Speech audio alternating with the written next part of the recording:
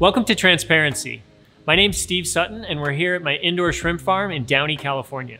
Here at TransparentSea, our mission is to take pressure off of the ocean habitats and create delicious, low impact seafood that's more efficient with our natural resources. When I was in college, I left after my freshman year to work on Wall Street and really didn't enjoy that experience. Then I kind of asked myself what the little kid version of me would do, and I ended up in marine biology. So I thought, you know, how can I help protect the ocean and its precious resources?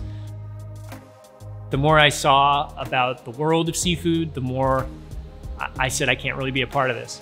I mean, think about this number. We import over 94% of our seafood. Similar number of our shrimp are imported. 2.2 billion pounds of shrimp coming into this country every year. Why is there 12,000 miles of coastline in the United States and no real substantial production? Even in Southern California alone, we're importing over 91% of our seafood. So that all led me to say, why don't we start a shrimp farm in Southern California?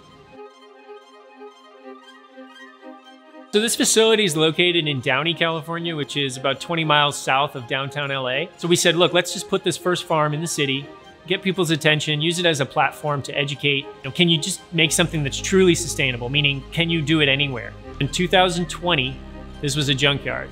And now here we are, just about to be 2022, and it's a fully functioning shrimp farm capable of producing 1,500 pounds of fresh shrimp per week. So shrimp is the most commonly eaten seafood in the United States. Americans on average eat four to five pounds of shrimp per year, per person. It's also an industry that's fraught with problems. I think there are two main categories that are problematic the environmental impacts of shrimp farming and shrimp fishing and how it affects human health. Both are pretty destructive in general. People say, oh, I don't eat farmed, I eat only wild. But with shrimp fishing, wild shrimp fishing kills on average 5.7 pounds of other sea life to catch one pound of shrimp. The average shrimp farm is producing in areas that are tropical regions that used to be key habitats for sequestering carbon and for growing uh, basically nursery areas for small fish, shrimp, mammals, uh, and those are known as mangroves. So mangroves are quietly a very, very key habitat. And we've lost more than half the world's mangroves in the last 40, 45 years. So it's estimated that around half of that loss is due to fish and shrimp farming.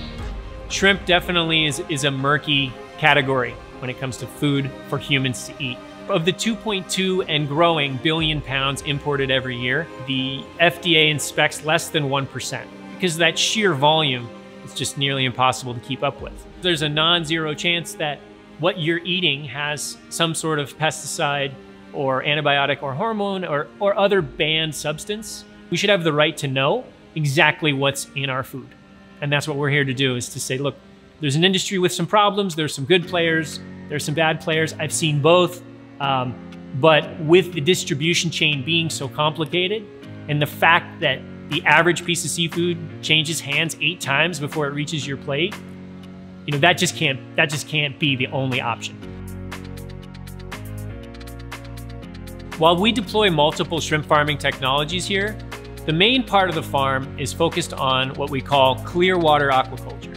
This is basically breaking down all parts of farming into separate pieces of the system. In this way, we can really measure what's going on and we can make adjustments to each component of the farming process.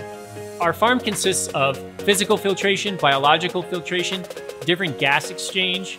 In short, we've created a wastewater treatment facility within this building specifically designed for shrimp. While our mission here at TransparentSea is focused on using as few resources as possible and being really efficient, protecting the environment, we're also here focused on producing something that's really high quality and meets your expectations as a consumer. So that means it has to taste good. We raise Pacific white leg prawn. It's a clean tasting prawn with a sweet finish.